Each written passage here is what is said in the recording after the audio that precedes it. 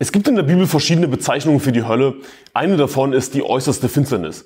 Und dieser exakte Begriff äußerste Finsternis kommt so nur dreimal vor, und zwar im Matthäusevangelium. Und immer wenn wir uns fragen, was bedeutet ein Wort oder was bedeutet ein Begriff, sollten wir uns den ersten Vers anschauen, wo dieser Begriff oder dieses Wort vorkommt. Das ist eine gute Faustregel, um die Bibel besser zu verstehen. Wenn wir uns zum Beispiel die Frage stellen, okay, was bedeutet Hölle? Dann könnte man sich angucken, wo kommt das Wort Hölle das erste Mal in der Bibel vor. Und wir finden in dem ersten Vorkommen dieses Wortes auch automatisch die Definition dafür.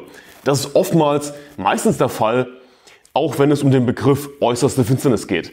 Der Begriff äußerste Finsternis kommt das erste Mal in Matthäus Kapitel 8, Vers 12 vor, wo es heißt, aber die Kinder des Reiches werden in die äußerste Finsternis hinausgeworfen werden. Dort wird es Heulen und Zähneknirschen sein. Und Lesen wir aber einfach den ganzen Abschnitt im Kontext, ja, dass wir den ganzen Kontext erfahren, den ganzen Zusammenhang. Es geht los in Matthäus Kapitel 8 ab Vers 5, wo es heißt, als Jesus aber nach Kapernaum kam, trat ein Hauptmann zu ihm, bat ihn und sprach, Herr, mein Knecht liegt daheim gelähmt da nieder und ist furchtbar geplagt. Und Jesus spricht zu ihm, ich will kommen und ihn heilen. Der Hauptmann antwortete und sprach, Herr, ich bin nicht wert, und dass du unter mein Dach kommst, sondern sprich nur ein Wort, so wird mein Knecht gesund werden. Denn auch ich bin ein Mensch, der unter Vorgesetzten steht und habe Kriegsknechte unter mir. Und wenn ich zu diesem sage, geh hin, so geht er. Und zu einem anderen, komm her, so kommt er. Und zu meinem Knecht, tu das, so tut er's. Als Jesus das hörte, verwundete er sich und sprach zu denen, die nachfolgten, Wahrlich, ich sage euch, einen so großen Glauben habe ich in Israel nicht gefunden. Ich sage euch aber, viele werden kommen vom Osten und vom Westen und werden im Reich der Himmel mit Abraham, Isaac und Jakob zu Tisch sitzen. Aber die Kinder des Reiches werden in die äußerste Finsternis hinausgeworfen werden. Dort wird es Heulen und Zähneknirschen sein.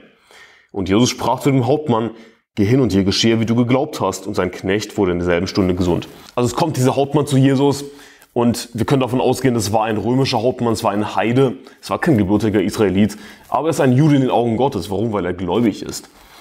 Und er hat so einen großen Glauben, dass Jesus sich sogar verwundert und sagt, wahrlich sage euch, einen so großen Glauben habe ich in Israel nicht gefunden.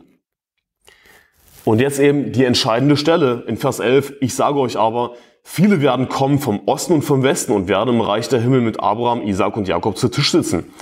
Also Israel im Großen und Ganzen hat Jesus Christus natürlich abgelehnt. Israel im Großen und Ganzen hat nicht an Jesus geglaubt, es hat sich heutzutage natürlich nicht geändert. Ja. Wenn wir mit Juden reden, kaum einer von ihnen wird gerettet. Das ist die traurige Wahrheit. Die meisten Juden lehnen Jesus Christus ab. Aber es werden eben viele kommen vom Osten und vom Westen. Und sie werden im Reich der Himmel mit Abraham, Isaac und Jakob zu Tisch sitzen. Also der Hauptmann, der ein Heide war, der aber geglaubt hat, der wird im Reich der Himmel sein. Man sollte annehmen, dass die Kinder des Reiches Israel, dass sie doch im Himmel sein werden, dass sie doch an Jesus Christus glauben, aber das Gegenteil war der Fall. Jesus kam in das Sein und die Seinen nahmen ihn nicht an. Israel hat im Großen und Ganzen Jesus Christus abgelehnt. Sie sind im Großen und Ganzen ungläubig.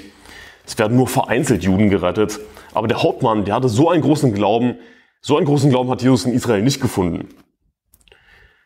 Also die Heiden, ja, viele Heiden werden gerettet. Im Vergleich mit den Juden sind es viele Heiden, die gerettet werden. Sie werden mit Abraham, Isaac und Jakob zu Tisch sitzen. Aber Vers 12, ja jetzt der Gegensatz dazu, die Kinder des Reiches werden in die äußerste Finsternis hinausgeworfen. Dort wird Heulen und Zähneknirschen sein. Wir erfahren also in dem ersten Vorkommen dieses Begriffes äußerste Finsternis, worum es sich hier handelt. Die Kinder des Reiches, wer ist das im Kontext? Die Kinder des weltlichen Reiches Israel, weltliche Israeliten. Sie haben im Großen und Ganzen nicht an Jesus Christus geglaubt. Werden sie im Reich der Himmel sein mit Abraham, Isaac und Jakob, mit ihren weltlichen, fleischlichen Vorfahren? Nein. Also hier ist das Ding, wenn du nicht im Reich der Himmel bist, hm, wo bist du dann? Du bist in der Hölle. Also wenn wir uns das erste Vorkommen des Begriffes äußerste Finsternis anschauen, ist es eindeutig, worum es geht. Es geht um die Hölle.